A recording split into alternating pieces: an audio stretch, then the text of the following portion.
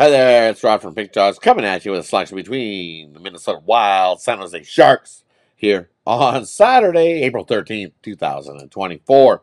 Just before we get that selection, I want to say, hey, if you're new to Pick Dawgz, welcome aboard! Glad to have you like, subscribe, hit that notification bell.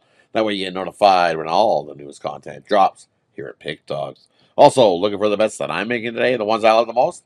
Hit the link, it's in the description. That'll get you right to my page, and you can find the bets I'm looking to uh, slot the books with this Saturday. All right, let's get this action here uh, on Saturday in this one. Yuck, yuck, yuck, and more yuck. Uh, you look at this one in uh, the Wild, second half of a back to back. Should be Gustavsson getting the start for uh, Minnesota in this one, having to play in LA and then having to come to uh, San Jose and play a hockey game when you're already eliminated from the playoffs. Hmm. Wonder how uh, Friday night's going to go in Vegas for Minnesota. Uh, I think they might be uh, might be a little hungover. uh, coming into this one. This is this is one of those games that is uh, I'm probably going to steer clear of and take a Ruffalo. But tell you about it. Gustavsson's going to get the start. It should be Blackwood for San Jose in this one.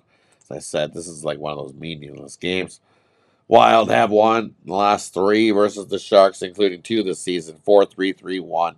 First meeting uh, of the season into the Shark tank for uh, the Wild. And their last trip, they won 5 2. In that one, who got the start? It was Fleury get the start in that one. I don't know. For me, this just looks like a really bad spot for the Wild. That uh, there's just too much value to take with the uh, Sharks as the uh, Sharks got motivated and got themselves a win over uh, Seattle last time. So at this big plus price, it's the only way to go. That's where the value is. It's not betting Minnesota, not laying 240 with a team on the back to back that is out of the playoffs and really don't care. So after leaving Vegas too on a Friday night, whew, give me the Sharks in this one to take a bite out of the Wild in this one. Thanks everybody for tuning in. Appreciate each and every one of you. Also, quick don't looking for the bets I'm making. Hit the links in the description. Have yourself a wonderful Saturday, everybody. Catch you on the next one.